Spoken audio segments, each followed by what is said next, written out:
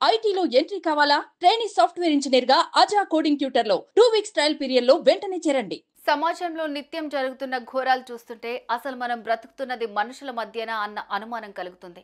మనుషులు కాస్త మానవ మృగాలుగా మారుతూ కామంతో రెచ్చిపోతున్నారు. కొందరు దుర్మార్గులైతే అబంశుభం తెలియని చిన్నారులపై అత్యాచారం చేస్తూ తమ కోరికలు తీర్చుకుంటూ దారుణాలకు తెగబడుతున్నారు. ఇలాంటి ఘటనలు రోజుకొక చోట వెలుగు చూస్తూనే ఉన్నాయి.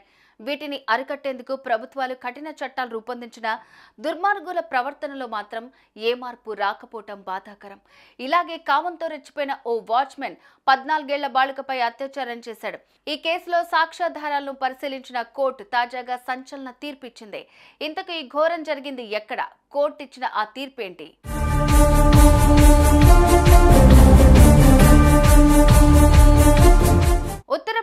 ఆగ్రాలోని ఓ ప్రాంతంలోని పద్నాలుగేళ్ళ బాలిక తన కుటుంబ సభ్యులతో కలిసి నివాసం ఉంటోంది గతేడాది డిసెంబర్ ముప్పైవ తేదీన మధ్యాహ్నం సమయంలో ఇంటి ముందు తన స్నేహితులతో కలిసి ఆడుకుంటూ ఉంది.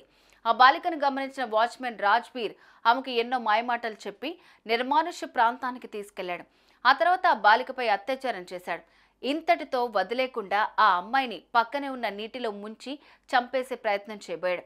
కానీ అది బెడిసి కొట్టడంతో పక్కనే ఉన్న రాయితో ఆ బాలిక తలపై బలంగా బాదాడు. అతడి దాడిలో తీవ్రంగా గాయపడ్డ ఆ అమ్మాయి రక్తపు మడుగులో పడి అక్కడికక్కడే ప్రాణాలు కోల్పోయింది. ఆ తర్వాత రాజ్వీర్ మృతదేహాన్ని సమీపంలోని పొలంలో పడేసి అక్కడి నుంచి పరారయ్యాడు.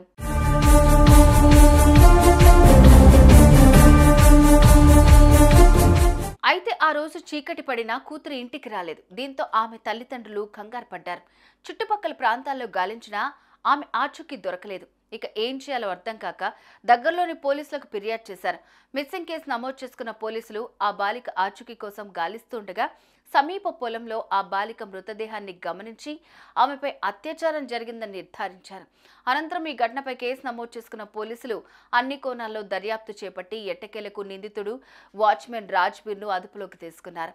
అయితే పోలీసుల దర్యాప్తులో భాగంగా ఘటనా స్థలంలో దొరికిన జుట్టు అతని డిఎన్ఏ టెస్ట్కు మ్యాచ్ అవడంతో నిందితుడు అతడేనని పోలీసులు తెలుసుకున్నారు.